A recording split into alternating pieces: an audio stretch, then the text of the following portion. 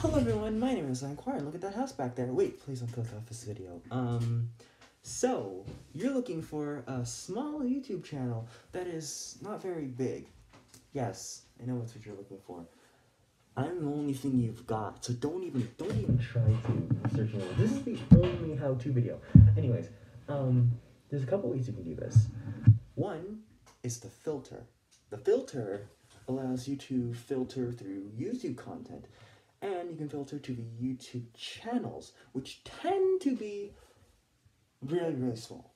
You can also do this by date, um, and maybe you can just play around.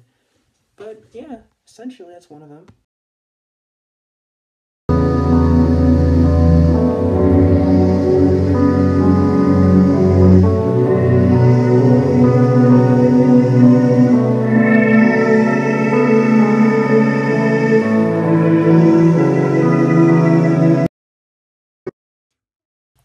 Look, I get it. You're probably getting bored, right? At this schoolhouse over there. Um, but there's also another way you can search for smaller YouTube channels. Teeny tiny, teeny tiny.